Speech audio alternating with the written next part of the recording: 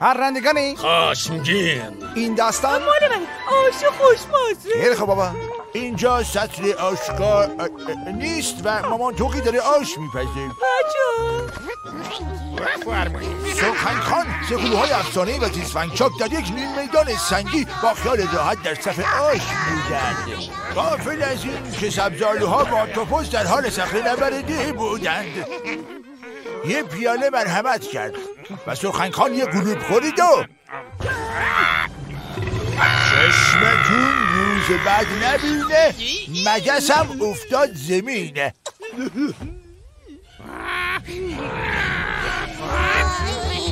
نوبت کیه؟ آها حالا اگه مردی بخور. ناراحت میشه. آفرین. همونطور که دیدید درخت و خوشبود از آب ماست بدتره.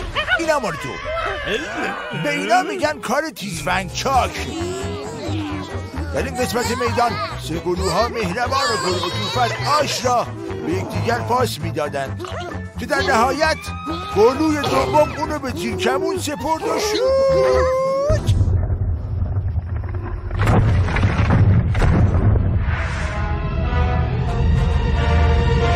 به اینم میگن کار گلو دوم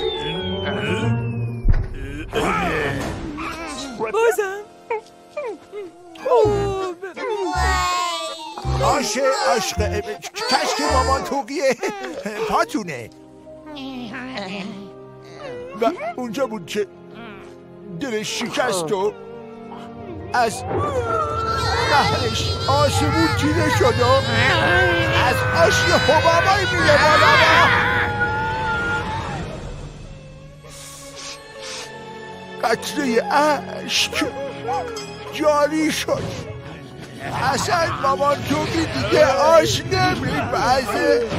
در حالی که سبزالوی آخر با دندان از توپوز آمیزان بود همشو خالی کرد رو سر اون بدبخت. توپوز هم خورد تو سر اون یکی.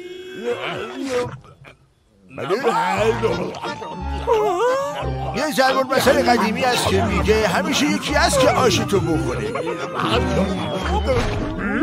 و یکی دیگه هم هست که میگه آش با جاش.